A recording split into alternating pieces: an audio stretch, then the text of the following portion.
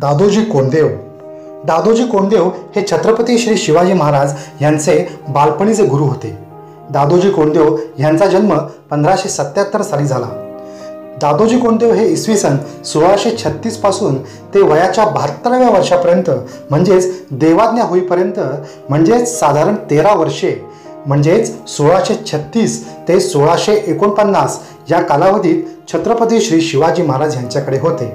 त्याआधी त्यांनी पुणे परगणा वतन जहागिरीची देखरेख करणारे सुभेदार पद घेऊन नोकरी केली.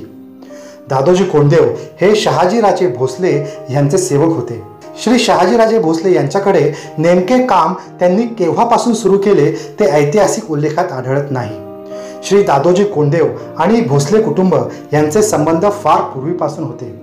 छत्रपती श्री शिवाजी महाराज यांचे आजोबा श्री मारोजी राजे भोसले यांनी हिंगणी बेर्डी देऊळगाव ह्या गावांची पाटीलकी मिळवली होती. ह्या गावांचे कुलकर्णी म्हणून दादोजी कोंडदेव काम पाहत असत. आदिलशाहीमार्फत ते सिंहगडाचे किल्लेदारही होते. त्या काळातील कुलकर्णी यांचे काम नेमून दिलेल्या गावातील शेतसाराचा हिशेब ठेवण्याचे असे. काही वेळा शेतसारा जमा करण्याची जबाबदारी सुद्धा कुलकर्णी यांना सांभाळावी लागे.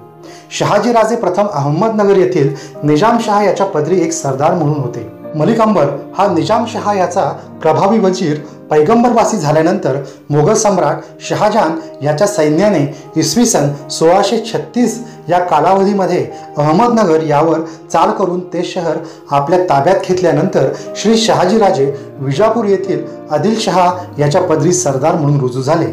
आदिलशहा याने त्यांना पुणे याची जहागिरी दिली. चाकण भागापासून शिरवळ इंदापूर सुपे वाई येथपर्यंतचा पुणे परगण्याचा मुलूक पश्चिम दिशेस घाट उत्तर दिशेस घोड नदी पूर्व दिशेस भीमा दक्षिण दिशेस नीरा अशा हद्दी असलेला प्रदेश शहाजीराजे यांना आदिलशहा याच्याकडून जहागीर म्हणून मिळाला होता.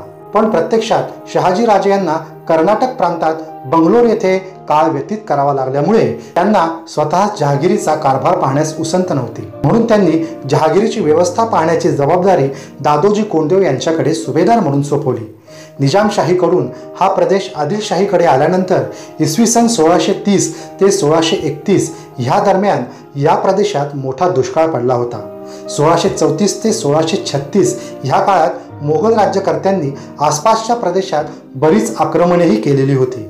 सुभेदार या नात्याने या पुणे परगणा परिसरात दादोजी कोंडदेव यांनी दक्ष कारभाराने परिस्थितीत आमूलाग्र सुधारणा घडवून आणली. लोकांना सुरक्षित वाटण्यासाठी योग्य ते उपाय केले. निवाडे दिले.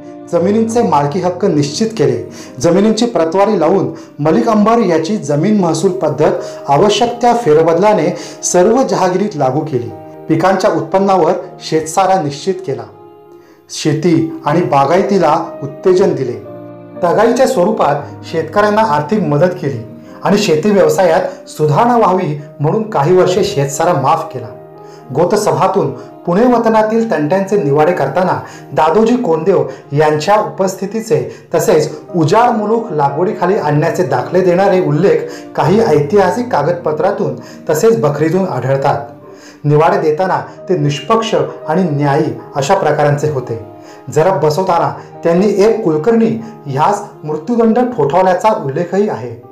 इसवी सन सोळाशे एकोणपन्नास साली दादोजी कोंडदेव यांना देवाज्ञा झाली तेव्हा छत्रपती श्री शिवाजी महाराज यांचे वय अवघे एकोणीस वर्षे होते. तेव्हा श्री महाराज यांना अतिव दुःख झाले.